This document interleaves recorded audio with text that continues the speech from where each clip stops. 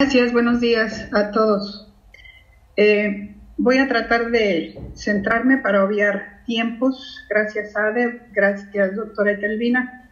El artículo tercero, de acuerdo a la reforma en la que todos participamos, tiene otro, tiene otro sentido, tiene otro espíritu respecto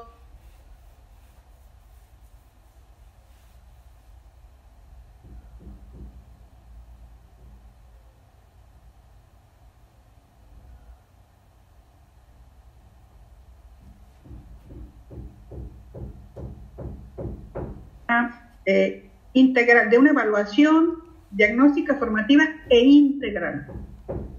Y esto alude también a las autoridades educativas y a las autoridades eh, de gobierno. Normalmente se evalúa el aprendizaje de los alumnos y de esa manera se evalúa el desempeño de los maestros. La pregunta concreta es, ¿habrá indicadores, criterios y lineamientos eh, que se pongan sobre la mesa para evaluar el desempeño de las autoridades educativas y las autoridades de gobierno? Y la otra pregunta es en relación a los programas de formación continua que me parece muy interesante y, y hay que agradecer.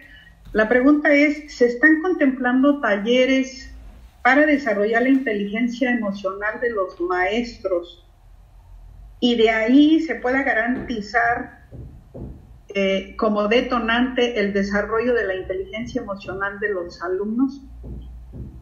Me parece que este es un tema neural porque hoy en día se está hablando mucho sobre la salud emocional, sobre los aspectos socioemocionales eh, de la ciudadanía. Es cuanto, gracias.